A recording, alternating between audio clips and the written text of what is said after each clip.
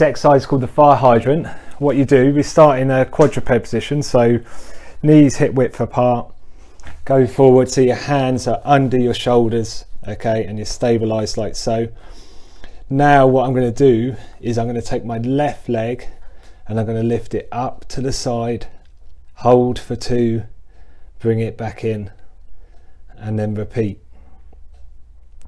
Okay, so lift in, one, two, back down. good to not let your knee rest. Yeah, try and keep, don't do a rep and then go onto your knee. Try and, you can see I lift, hold, I come down, and then my knee isn't going back onto the floor. I'm keeping it off the floor for the duration of the exercise. It's a good little, good little exercise. Uh, if you want to progress it, then put a band around your above your knees yeah both legs above the knees add the band for additional resistance. And if you want to progress it again have a look. Uh, one of my videos called standing fire hydrant